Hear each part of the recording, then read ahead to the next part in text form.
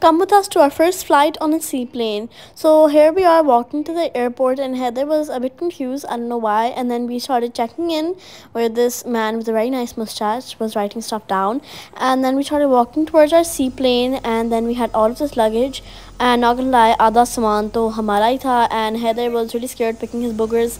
And I was also really scared kyunki mujhe akela bithaya gaya tha like an adopted child. How rude! And then we finally started moving after a whole hour of um, talking talking talking.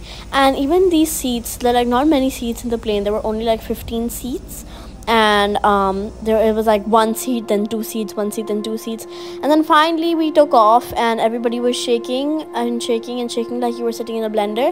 And the sound of this plane was as loud as a newborn baby crying in your ear. So you had to wear earplugs and then there were a lot of boats. And then there were like, there were like these blue patches of islands and they looked really nice. And haider half the time was um, not doing so good. He would look out the window and then feel felt like he had to vomit and then go into baba's lap again. But i was in the front so i could see everything. And then we went into these clouds and it was really nice actually. And it was a lot of fun.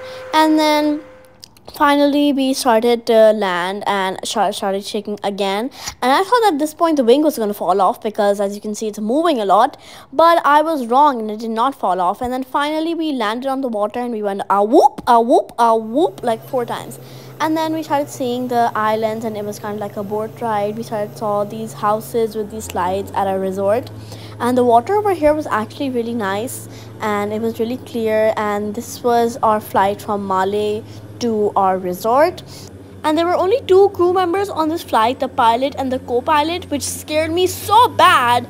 And to make it even worse our co-pilot decided that he was going to jump off the plane use his hands to use a rope to pull in this whole plane onto this docking place in chappals shorts and amazing sunglasses. Like what a life bro. What a life and then we finally got to our island and i was so excited. And then we got off and there was a lot of clear water which had a lot of coral reef inside. And then we had this whole welcoming com committee jo pura tabbar le aaye the.